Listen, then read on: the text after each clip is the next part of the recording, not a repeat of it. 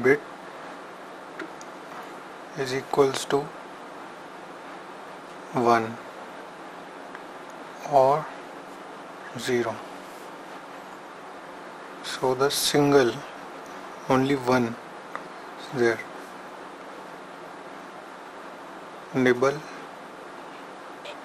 equals to 4 bit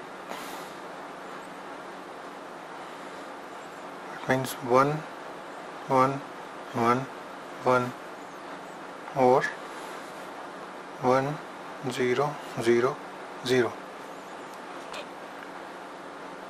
byte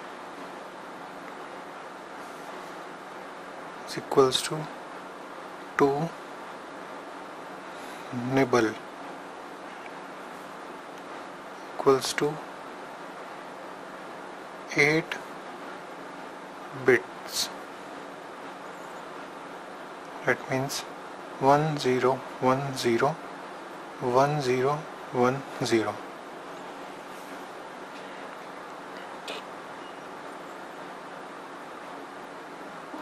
word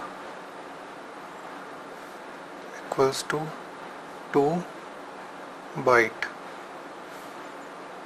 That means 4 nibble that means 16 bits. Means for example 1 0 1 0 1 1 1 0 0 0 0 1 1 0 1 1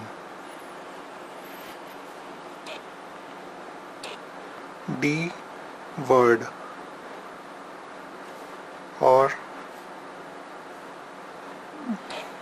double word is equals to 32 bits. Then we have q word or quad word equals to 64 bits